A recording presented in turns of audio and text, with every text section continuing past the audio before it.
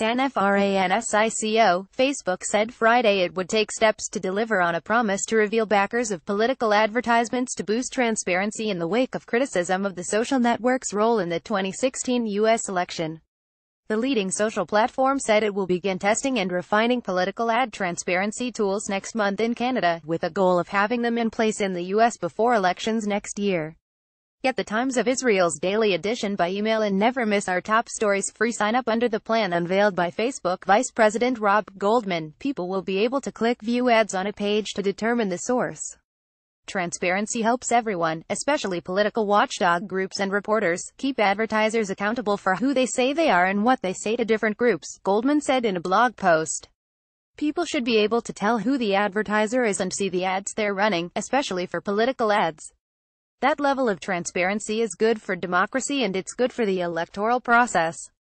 Facebook founder and chief executive Mark Zuckerberg said in a separate post this is more transparency than required for other media. We're making all ads more transparent, not just political ads, Zuckerberg said. Additionally, he noted that political advertisers will now have to provide more information to verify their identity. Facebook in September announced a plan to increase transparency regarding political advertising and hire more than 1,000 people to thwart deceptive ads crafted to knock elections off course including dark messages crafted for specific demographic groups but invisible to others. Facebook has turned over to Congress some 3,000 Russia-linked ads that appeared to use hot-button issues to turn people against one another ahead of last year's U.S. election.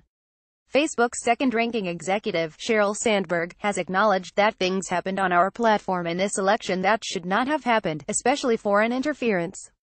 According to Facebook, some 10 million people may have viewed the ads placed by a Russian entity that appeared aimed at sowing division and mistrust.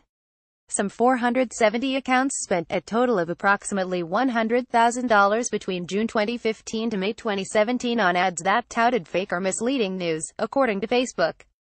Goldman said Canada is a natural choice to test the new system.